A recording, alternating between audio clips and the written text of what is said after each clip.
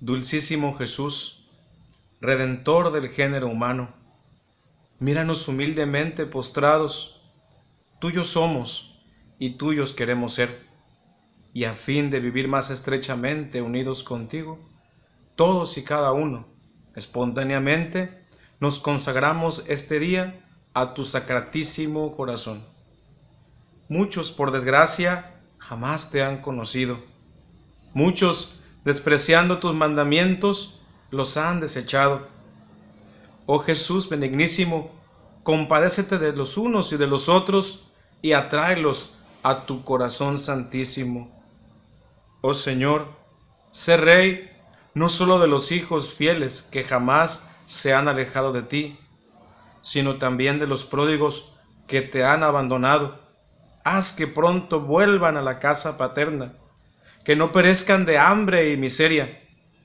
Sé rey de aquellos que por seducción del error o por espíritu de discordia viven separados de ti, devolviéndolos al puerto de la verdad y a la unidad de la fe para que en breve se forme un solo rebaño bajo un solo pastor.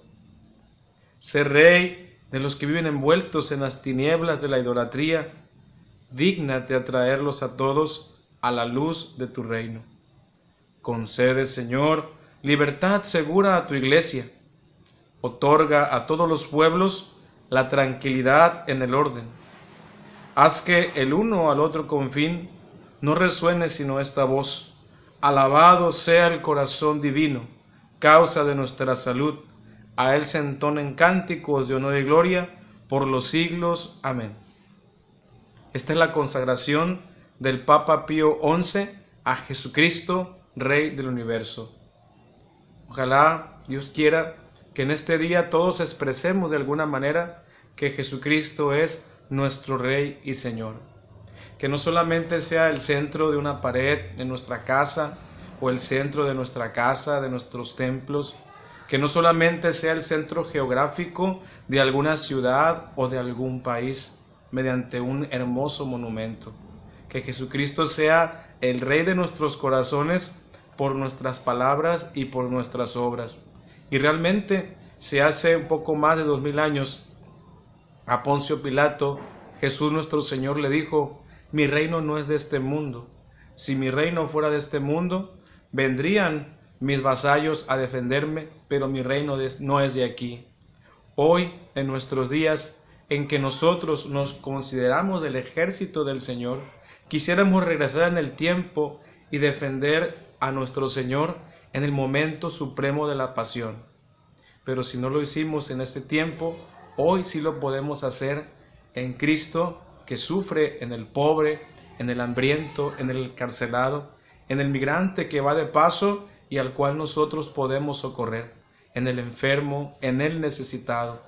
Así nosotros podremos también estar con Cristo, Rey de Reyes, en la Eucaristía, siempre que Él nos invita a participar de los sacramentos y estando allí en el sagrario donde siempre nos espera, para que nosotros lo amemos, para que nosotros lo honremos, lo proclamemos como nuestro Rey y Señor. Y Él, como buen Rey, en su reinado lo hará con amor. Su reinado es un reinado de paz, su reinado es un reinado de justicia. Nos conviene que Cristo reine, nos conviene que Cristo sea el Rey de nuestra vida, el Rey de nuestra familia, el Rey de nuestro tiempo, el Rey de nuestro trabajo, el Rey del universo. Conviene que Cristo reine. Que siempre nosotros, con nuestras palabras y nuestras obras, proclamemos a Jesús como nuestro Rey y Señor. El Señor los bendiga en el nombre del Padre y del Hijo y del Espíritu Santo. Amén.